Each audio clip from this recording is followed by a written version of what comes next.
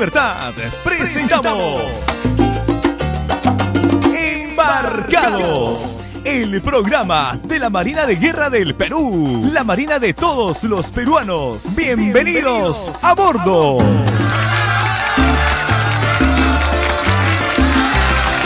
Ah, me has puesto Zaperoco, la resistencia salsera del Callao. Bien, Carlitos. ¿ah?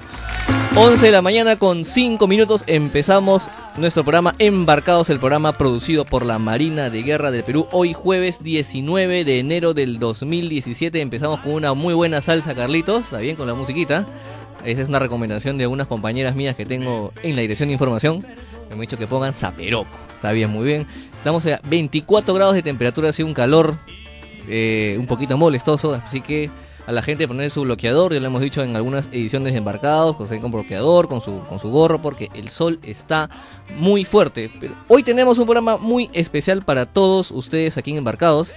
En los 820 de amplitud modulada de Radio Libertad tenemos un programa muy especial. Ah, vamos a hablar con un destacado oficial de mar, que es este el primer puesto de su promoción. Ya lo presentaré en un ratito más. Pero vamos, Carlitos, con la cuña de las redes sociales. En Embarcados, Face Tuiteros, conéctate a nuestro Facebook, Marina de Guerra del Perú, oficial, y nuestro Twitter, arroba naval-perú. Ajá, viendo acá en las redes sociales, en nuestro Facebook es Marina de Guerra del Perú. Si ves el check azul, esa es nuestra cuenta oficial. Estamos en 349.377 fans. Así que agradecemos a la preferencia que tienen con nosotros este, nuestros fans de Facebook. Y en Twitter estamos en 32.626 seguidores en Twitter. Ahí nos pueden ubicar como arroba naval-perú. Ahí tenemos también nuestras novedades, de noticias, de eh, todas las novedades que pueden que puede ofrecernos que puede ofrecer para ustedes la Marina de Guerra del Perú. Y bueno acá revisando eh, en la laptop el Facebook eh, de la Marina de Guerra del Perú veo que hay un el hashtag que dice MGP te recuerda nos dice que la Marina de Guerra del Perú saluda a la ciudad de Lima por sus 482 aniversario de fundación. Ayer ha sido pues este el aniversario de Lima ha habido una serie de, de festejos y bueno, pues este un saludo para, para bueno, la ciudad de Lima, para todos los limeños que ayer han estado pues de aniversarios. Este, hay que cuidar la ciudad, hay que cuidar este las playas, hay que tener mucho, mucho cariño por nuestra ciudad capital. Y bueno, como siempre, la dirección de hidrografía y navegación nos tiene pues siempre novedades y nos, nos ha mandado el aviso especial número 3 y dice la dirección de hidrografía y navegación de la Marina de Guerra del Perú informa a la opinión pública que desde la tarde de hoy jueves 19 de enero, a lo largo del litoral norte se prevé la presencia de oleaje de ligera intensidad proveniente del Océano Pacífico Norte, afectando principalmente zonas de playa y puertos, por lo que se recomienda a toda la población costera y personas que realicen actividades portuarias, pesca, deportivas y de recreo, tomen las medidas de seguridad para evitar accidentes y o daños personales y materiales. Así que toda la gente que está pues que está asistiendo a la playa o que está haciendo actividades de pesca, por favor seguir las indicaciones de la Dirección de Hidrografía y Navegación que siempre está pues a la orden de todos ustedes. Y si quieren saber más acerca de las actividades y el reporte del mar que siempre nos tiene la Dirección de Hidrografía, pueden visitar la página web www.dhn.mil.pe que siempre estará pues actualizada. Bueno, y también este, veo que el presidente de la República, Pedro Pablo Kuczynski, ha, eh, visitó la Capitanía de Puerto de Puno. Eh, esto para supervisar la implementación de los servicios de agua potable y alcantarillado del distrito de Desaguadero. Bueno, el jefe de, nuestro jefe de Estado inspeccionó estas obras y bueno, pues también visitó pues a las poblaciones y, bueno, vio también el, tema del desarrollo productivo de la zona. Y bueno, un saludo muy especial también para, el personal que trabaja en la Capitanía de Puerto de Puno. Ya se acerca el, festejo de la Virgen de la Candelaria, Carlitos. ¿ah? Es un, una la fiesta allá en Puno. Se inicia, creo, si no, no, me equivoco, en estos días. Termina en febrero. Y también creo que la Marina de Guerra va a tener otra vez una participación en las danzas de en la Virgen de la Candelaria. Y bueno, también hay otra noticia que he visto en el Twitter también, que jóvenes del servicio militar reciben capacitación en salud pública. Esto gracias al Instituto Nacional de Salud, el INS. Este programa tiene certificación oficial y gracias a un convenio con el IST el Instituto Superior Tecnológico Público de las Fuerzas Armadas y se ha capacitado pues a 405 jóvenes de servicio militar voluntario. Así que chicos, eh, si es que quieren animarse por pertenecer a las Fuerzas Armadas, especialmente a la Marina de Guerra de Perú, no se olviden de que eh, el servicio militar voluntario los espera pues con las puertas abiertas. Y no se olviden que eh, en, a finales de enero termina también pues este, el proceso de admisión en el CITEN, así que no se olviden de visitar la página web www.citen.edu.pe, ahí tienen toda la información y también en, en nuestras redes sociales si ustedes gustan preguntar, ahí nosotros vamos a responder todas sus inquietudes con respecto pues al Instituto CITEN que los está esperando. Ajá, también con otra cancioncita bien bacán. Saori Control. Muy bien, Carlitos, estamos actualizados con la salsita. Muy bien. Bueno, ahora vamos pues con la entrevista de- de- del día. Estamos aquí en cabina, como les venía adelantando, con el oficial de Mar Tercero Guardacostas, Luis Crisóstomo Carcasi. Él tiene 22 años y, y bueno, pues nos va a comentar sobre eh, lo que estoy viendo aquí en mi pauta, que es el primer puesto de su promoción en el CITEN. Bueno, buenos días Luis, cuéntanos un poquito sobre ese tema. ¿Qué, qué felicitaciones? Hola, buenos días Marina, ¿cómo estás? Verdaderamente es un orgullo personal, ¿no? Haber ocupado este puesto en lo que he ocupado de mi carrera estos tres largos años de entrenamiento ¿Y En que- el de- centro. eres primer puesto de cuántos alumnos? de 638. De 638 alumnos sí. eres el primer puesto. Y cuéntanos un poquito cómo empezó esta, este tema de la carrera naval. Porque por lo que tengo entendido tú provienes del servicio militar. Y cuéntanos un poquito cómo empezó, desde el comienzo. Cómo tú ingresaste a la Marina de Guerra Perú y al servicio militar. Al- entre todo este, como decía, ¿no? El servicio militar que todo este comenzó gracias a mi tía, familiares que tenía acá en Lima, ¿no? Porque yo vengo de lo que es de la provincia de Chepén, departamento de la Libertad. Vine acá a querer seguir ser este estudiar algo que verdaderamente sea mi profesión. Pero se me dio la ¿no? Se me dio esta oportunidad en la Marina al sacar vi, ¿no? grande que decía los técnicos decían, "Hijo, ¿por qué no te animas a postular al- acá este a servir primero a tu patria?" me decían. ¿Tú fuiste a sacar solamente tu libreta militar, creo? Mi libreta militar. Me fui con mi tía, me dijo, "Hijo, vamos, te llevo." Me llevó a Chucuito. Me dijo, "Este, vamos a ver tus documentos." Veía mis documentos y me dijo, "Hijo, ven, este, vamos a preguntar acá al técnico, ¿no? A ver qué nos dice si es bonito para ti, acá te animas." Y lo que me dijo el técnico me animó, sí, todo deportivamente, esto es lo mejor que te puede pasar en tu vida. Y me animé, ¿no? Me animé a querer seguir los exámenes, físico, conocimiento, todos los iba probando y más me animaba yo.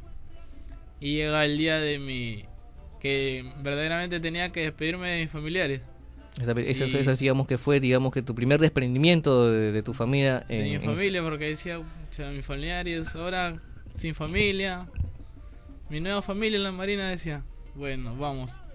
y, me y- fui. y- y cómo, cómo te trataron ese? ¿Cuánto tiempo estuviste en el servicio militar? Digamos, Tres meses. tres meses. Ingresé un 26 de junio del 2012. Soy segundo contingente 2012. Terminé a mediados de. Te digo, octubre, noviembre, ahí, ¿no? Ingresé y escogí la especialidad de guardacostas, de Guarda- auxiliar guardacosta. que hasta ahorita la mantienes, pues, ¿no? Hasta ahorita yo tú eres un oficial en el mar guardacosta también. Pero cuéntanos un poquito cómo, cómo es la vivencia dentro de, en, adentro en la escuela de, de, de Grumetes. Cuéntanos eh, cómo te recibieron, cómo que de repente algunas este, vivencias que tú has tenido. Cuéntanos un poquito. Verdaderamente lo que te hace es unirte y, vivir tu, tu vida ya verdaderamente como uno solo, ¿no? Ver la realidad, cómo estamos hoy en día. Y ves que de tu propio esfuerzo tú puedes seguir adelante. No solamente necesitas de alguien que te esté a- atrás, ¿no? Diciendo, no, este, tú tienes que seguir esto, esto, no. Tú mismo ves la realidad y con la misma enseñanza de los técnicos, instructores, ¿no? que te enseñan día a día qué es verdaderamente lo que es la marina, me iba gustando. Siempre veía y me gustaba superarme, ¿no? Día Hay que señalar que lo que lo que los técnicos, que los, los, los instructores no solamente se encargan pues de digamos que de ser maestros y- y- de y guiarte en el tema del, del el aprendizaje físico, el aprendizaje intelectual, también están pendientes de repente de algunos De problemas, tus- los problemas, el- la parte digamos pues este un poco amical también, ¿no? Con, con, con el instructor, la parte humana. Sí, verdaderamente con los instructores var- varios este me conocen y conforme a mis logros que iba obteniendo te haces conocido, ¿no? Por los buenos valores que uno tiene. Y te ven de esa manera ya te van este viendo de una manera de un punto de que eres sobresaliente, te gusta seguir adelante y no te quedas atrás, ¿no? Ahora, en el servicio militar voluntario, tú tienes, cuando se termina este, esta etapa, tú tienes este, la decisión de regresar a la vida civil o postular al Instituto CITEN. Eh, ¿Por qué decidiste tú ya seguir la, la vida naval? O sea, ¿qué, encontraste que, que dijiste, ah, yo sigo, yo sigo este, de, de ser, digamos que un grumete, yo quiero ser un oficial de mar? ¿Qué te animó? me animó a seguir sobresaliendo de mis propios esfuerzos. Decía, yo no me voy a quedar acá y irme a la calle diciendo no, después de haber servido a la marina y quedarme en la calle y estar en nada. No, dije, si yo escogía este rumbo, y este rumbo tendré que terminar, ¿no? Y seguir superándome día a día.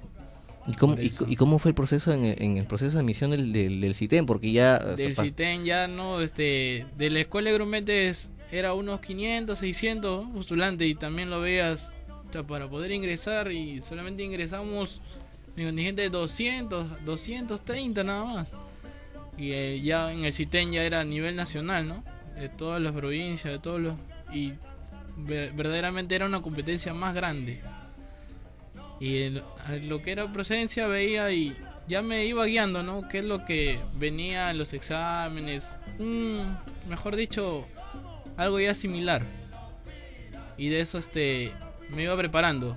Ya si verdaderamente venía el otro mes, que era la postulación ya un mes antes, tres meses antes ya estaba estudiando, si no este estaba este haciendo mi deporte para poder este hacer los exámenes que verdaderamente son y, bien. y- y la vivencia en el CITEN, cuéntanos un poquito cómo es, digamos, cómo es, digamos, un día en la, la rutina en el CITEN. Por ejemplo, le levantas muy temprano, cuál es tu, digamos que tu horario de estudios, horario de ejercicios físicos. Cuéntanos un poco de, esa vivencia en el CITEN.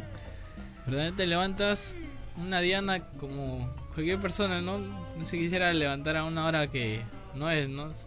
La diana, la diana a la hora de levantarse siempre es un poco pesada, ¿no? Levantarse y estar en formación. Pero con el transcurrir de tiempo, obviamente, tu Te- cuerpo te- se, se, se adapta. adapta al, sistema, ¿no? Y ver una rutina que ya lo iba adaptando poco a poco, ¿no? Te levantabas, te ibas, este, hacías tu deporte, la diana te- hasta las 6, de las 6 te, te ibas a pasar tu rancho, terminabas tu rancho, era formación, 8, hacer honores al pabellón y después pasábamos a aula, lo que es estudio.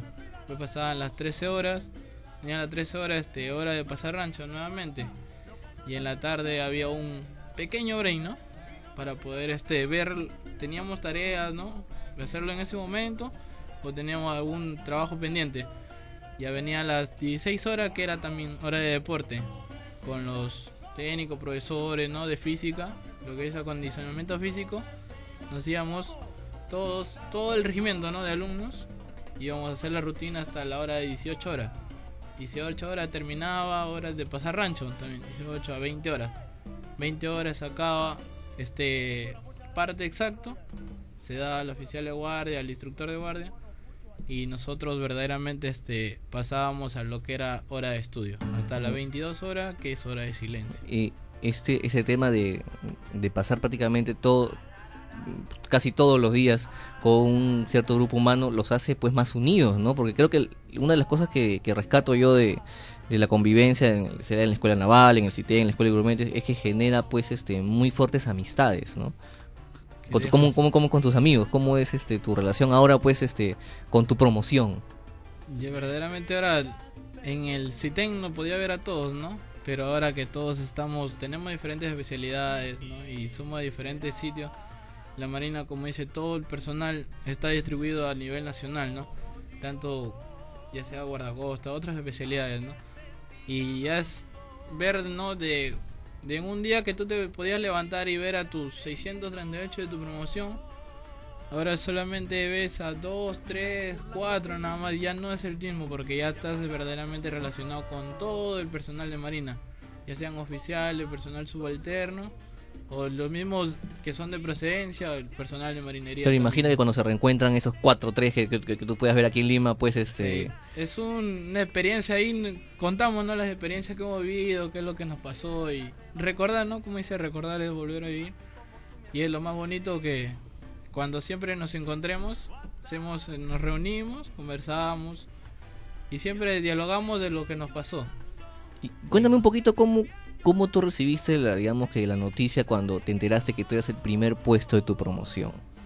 ¿Qué, qué, qué, qué sentiste? Cuéntanos. Verdaderamente se siente una adrenalina por dentro, ¿no? Es como cuando también cantas la escuadra para pasar este delante de todos los oficiales, verdaderamente te da ganas de llorar tanto, ¿no? Tanto que lo gritas con tantas ganas, te da ganas de llorar, pero uno tiene que contenérselo. Y verdaderamente este fue un orgullo y lo que más quería era el, por mis padres, ¿no? Yo verdaderamente quiero seguir surgiendo por ser hermano mayor. Y lo que tengo mal ahorita es mi madre. Y por ella verdaderamente que todo saco adelante, ya sea malo o bueno, tengo que seguir y seguir. Claro, eh, eh, tú sabes que la, la, familia siempre a veces pasan pues momentos pues difíciles, a veces momentos de salud un poco complicados, pero creo yo que ese tema de, de que tú hayas sido primer puesto, creo que eh, alivia un poco a cualquier dolor, ¿no? Creo, es un orgullo para la familia. ¿Y tu familia qué, qué, qué, qué te ha dicho a raíz de este primer puesto? Cuéntame. lo quería tener como un, una sorpresa, porque el día que me recibí, se hace una ceremonia, ¿no? Sí. Al orden de mérito del primer puesto de toda su promoción. O sea, tu familia no sabía de y tu no sabía nada todavía. Y yo este esperaba, ¿no? El momento de que ellos ingresaran. Veía, veía así de lejos, ¿no? Ver a mi madre ingresar con mi tía y mi abuelita. Porque ellos fueron, cuando yo ingresé, un 4 de marzo 2014 ingresé también al CITEN. Ingresé y ellos fueron los que verdaderamente, mi madre, de, que es del norte, se vino ese mismo día para poder este verdaderamente ya alejarme de la familia nuevamente. Ya aparte de que había hecho el servicio militar, me fui para lo que era ya el centro de instrucción, ya era, ¿no? Pero tu, tu, tu, tu, mamá debe estar muy como contenta y feliz que, bueno, aquí también en la Marina, pues este tienes también una, una familia que también que, que te apoya, pues la familia naval.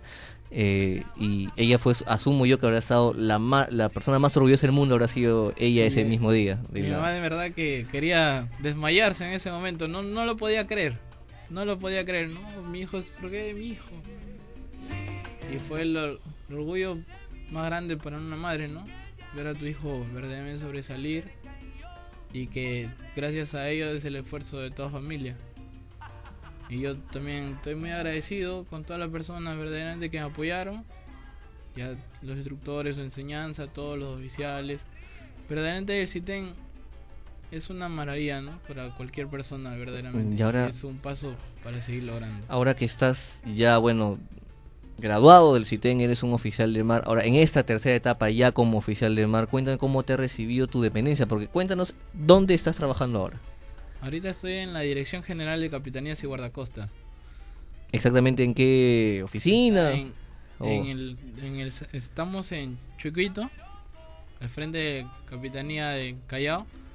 Estoy verdaderamente ahora en el departamento de la Dirección de Control de Intereses Acuáticos. Estoy mm. ahorita en lo que es este capacitación, ¿no? Vemos el, lo que es capacitación, capacitación al personal acuático, ya sea por renovación de libretas, por personal que recién verdaderamente se va a hacer hombre a la mar. Eso. Vemos todo ello. Los centros de formación, qué capacitaciones tiene que tener un personal recién que va a ser hecho a la mar. Ah, eh, y eso es muy bueno. Y cuéntanos que me, me estaba estamos hablando fuera de cabinas de que tú, después de que te acoples y que pasen algún tiempo determinado, tú quieres seguir otra carrera también aparte de la carrera naval. ¿Qué carrera quieres seguir, me dices? La carrera de Derecho. La carrera de Derecho. Que Y realmente toda mi especialidad trata de leyes, decretos, todo ello, ¿no? Y cada año que pasa van saliendo nuevas resoluciones y tú tienes que estar leyéndolo. Y gracias de ello te alimentan, ¿no? Todo lo que pasa verdaderamente en la sociedad. No sabemos. Y lo que es el derecho son las leyes, todo lo que Mm, Claro, es importante que, que también estés, digamos, que documentado sobre los temas en los cual tú vas a trabajar, ¿no? Y eso, eso, eso es muy resaltante, de que tú, eh, si bien es cierto, has obtenido un gran logro en, en la Marina, no te quieras quedar atrás y quieras seguir ye- seguir alcanzando mucho más. para poder tener más. Es una persona que soy una persona ambiciosa pero en el conocimiento, Eso, de querer sobresalir más y enriquecerse más a uno mismo, ¿no? y eso, es, eso es muy importante. Y tú debes, de- mm, ya para terminar el, el- el programa, porque eh, tú sabes que el tiempo en radio es corto, eh, puedes dejarle un mensaje pues a los chicos que todavía de repente no están animados, están así como que medio indecisos en, en querer postular a la Marina de Guerra del Perú, tanto en el servicio militar como en el CITEN. ¿Tú puedes dejarle un mensaje a esas personas? Un mensaje verdaderamente, ya seamos como en mi persona, que fui una persona de procedencia militar, también ingresé no sabiendo nada, pero uno postula y vamos con la mentalidad positiva, ¿no?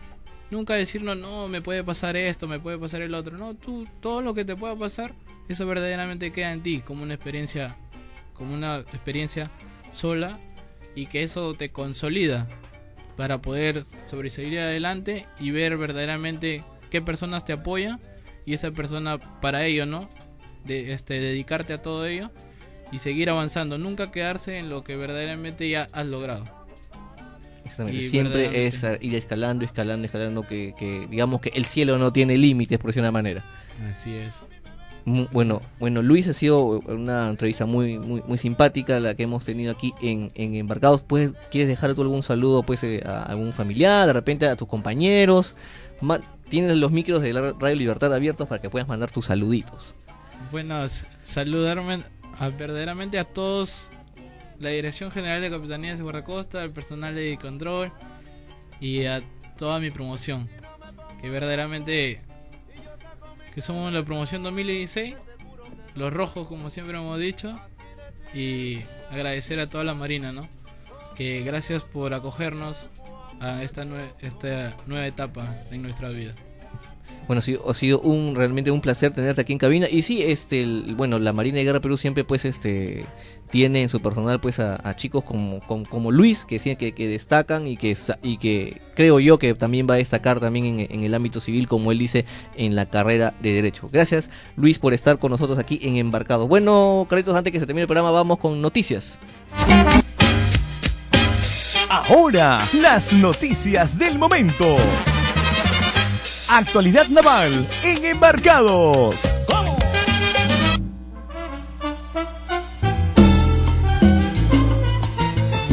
Este Carlitos ha actualizado con toda la salsita. Ahora César Vega me pone, ¿está bien? ah? Muy bien, Carlitos, con la, con la salsa. Bueno, entre las noticias más destacadas que tenemos aquí en, en Embarcados y lo que lo puedes encontrar también en la página web www.marina.mil.pe, nos dice que en la comandancia de la cuarta zona naval, eh, que está en, Iqui- en Pucallpa, perdón, rinde homenaje póstumo a un excombatiente de 1941. Bueno, dice que el 14 de enero en la ciudad de Pucallpa falleció el excombatiente del conflicto Perú-Ecuador en 1941, marinero, José Tangoa Guaira Macari, de 90 98 años, y siendo despedido con un homenaje póstumo que le brindó el personal de la cuarta zona naval. Bueno, como parte de los honores, la comitiva de marineros llegó a su vivienda para la guardia de honor ante el féretro, siendo escoltados en todo momento hasta ser llevado al cementerio general de Pucallpa. Bueno, el marinero Tangoa nació poquito, eh, poco su vida, nació en Pucallpa el 27 de febrero de 1918, ingresó a la Marina de Guerra de Perú en 1940 a los 22 años. Y durante su permanencia en el servicio de la institución dio muestra de su generosa entrega que lo llevó a defender la soberanía del Perú en el conflicto armado con Ecuador en 1941, vistiendo con honor y valentía el uniforme pues de la Marina de Guerra del Perú, bueno, un un saludo este, para, y el pésame para los familiares del el marinero José Tangoa. Y bueno, es un orgullo que, que, que tengamos todavía aún personas que, que han servido a la Marina y que han participado pues de, de, las, de, la defensa de la soberanía, en este caso pues en el conflicto de 1941, así que siempre a recordar a nuestros héroes navales. Bueno, eh, Carlito, este, se terminó el programa, eh, siempre recordándoles que nos pueden seguir a través de las redes sociales en, en Facebook Marina de Guerra del Perú, en Twitter arroba naval-perú. En YouTube también pueden encontrar las repeticiones de embarcados, van a estar totalmente actualizadas. Así que en el canal MGP oficial, así se llama nuestro canal de YouTube, vas a encontrar esto y mucho más videos. Y en Flickr también nos puedes ubicar como Marina de Guerra del Perú. Flickr es nuestro álbum de fotos, así que va, este, vean, vean, entren a internet y busquen todas nuestras novedades. Y bueno, y conmigo será hasta el próximo martes. Carrito sigue poniendo la salsita buena, así que sigan ustedes con la programación de Radio Libertad 820 AM. Conmigo será hasta el próximo martes. Chao.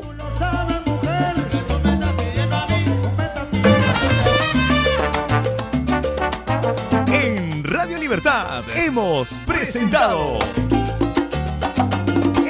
Embarcados. El programa de la Marina de Guerra del Perú. La Marina de todos los peruanos. No te olvides, estamos aquí en Radio Libertad todos los martes y jueves a las 11 de la mañana. Buen viento y buena mar. Buena mar.